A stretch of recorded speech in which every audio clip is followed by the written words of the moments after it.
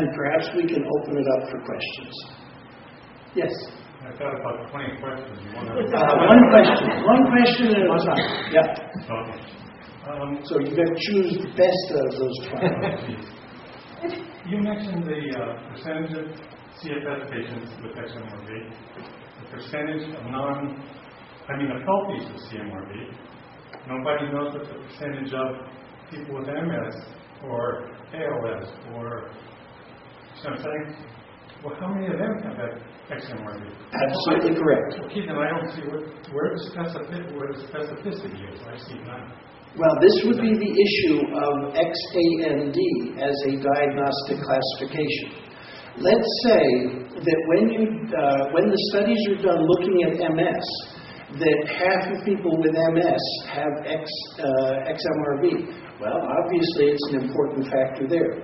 Uh, ALS, same thing. I, I heard uh, recently about some work that's being done there. We're just at the beginning of where this is going. And as you correctly point out, nobody knows at this point. But I think within six months, uh, we will know.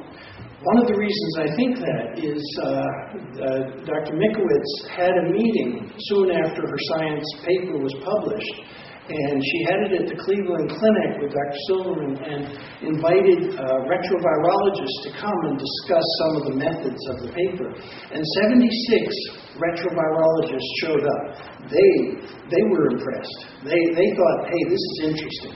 So uh, I don't think that this is going to just slide by and we'll never get to the answers. And that's happened in the past. I think that this we will come to know the answers. Yes?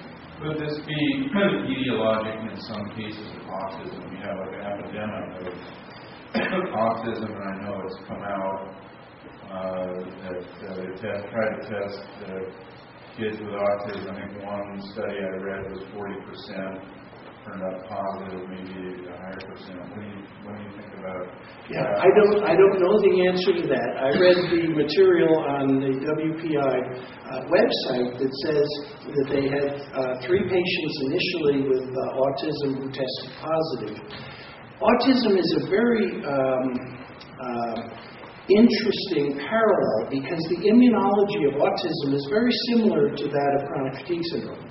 Uh, young kids, we don't see chronic fatigue syndrome the same way we see it in adolescents. So, yes, in retrospect, I can say, well, your illness may have started when you were three years old, but it could be that when you have uh, a more serious infection, that clinically it could be expressed in a disease such as autism. So, uh, I don't know the answer to that, but very, very possible. Uh, Dr. Mikovits gave a talk last week, I believe, to uh, the Defeat Autism Now group, and uh, I would imagine that that was taped and it may be on the web. So I, I haven't seen it, but uh, it may be that she addresses that question more specifically. Yes. Uh, I'm an internist in Los Angeles, and I've seen chronic patients more than 15 years, and I have not seen a single couple, or at best maybe one couple, with both syndrome. Yes. So how is it transmissible? Aha. I think that's a wonderful question. Uh, did everybody hear the question? Uh, he's an internist and he's seen chronic fatigue for many years. We ought to get you up here. You give the next talk. Uh, but um, he has not seen uh, cases where both husband and wife have it. Uh, and I agree, it doesn't happen. Um, so the normal way of retroviral transmission is blood-to-blood transmission, uh, sexual transmission. And um, uh, this raises the question well, if this is a sexually transmitted illness, how come we're not seeing it that way? Uh, that can't be the major way that it's uh, uh, transmitted. In my interest, I'm a pediatrician by training, and so the initial outbreak that we had was uh, 212 patients. Of them, 60 were children. And uh, this is exactly the same incidence that you see in community wide outbreaks of uh, what may be chronic fatigue syndrome that happened in the past. Uh, Iceland epidemic, 1,200 people got sick. Uh, royal free illness. So whenever it happened in a community, you had about 60 kids, and the rest were adults. Now, of the kids that I saw, they were prepubertal or just entering puberty. Um, the town that I work in is a small town. If there is some kid that's messing around in a hayloft someplace, everybody in town knows about that. So, what I'm saying is that of the kids in my practice who came down with chronic fatigue syndrome, they did not get it by sexual transmission or by blood transfusion. How did they get it? I have no idea, and uh, really don't know the answer. But the epidemiology does not look at all like this is a sexually transmitted illness. Uh, occasionally, I've seen a husband and wife both get sick with the same flu like illness at the beginning.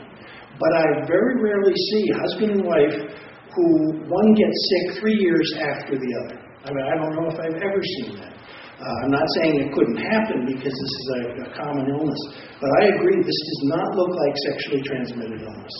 Well, I test uh, two patients by VIP one test positive.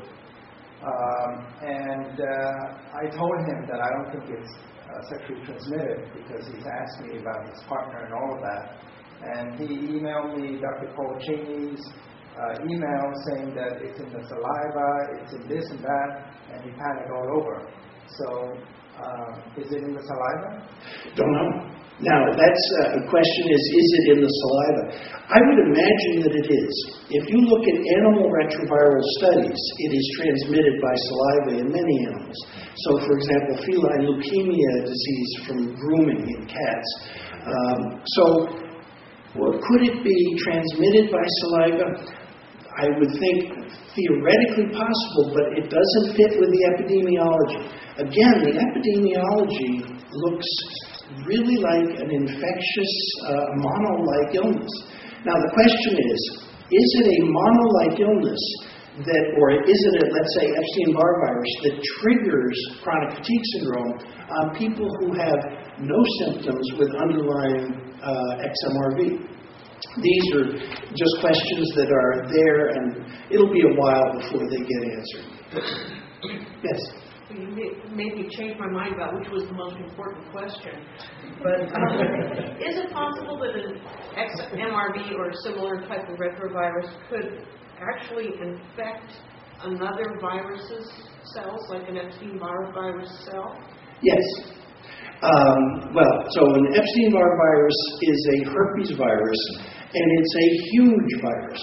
Okay, it's uh, if if XMRV were uh, the size of this front row, herpes virus is the size of this room.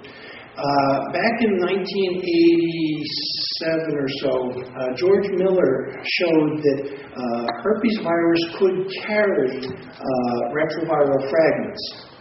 Now, could it be that a herpes virus could carry as a piggyback I don't know retrovirology well enough to be able to answer that. So uh, it's one of the questions that I hope uh, will be looked at because, you know, for years we've been saying, you know, this fits with the epidemiology of mono. Uh, so maybe, but again, I just don't know the uh, science well enough to be able to answer that question.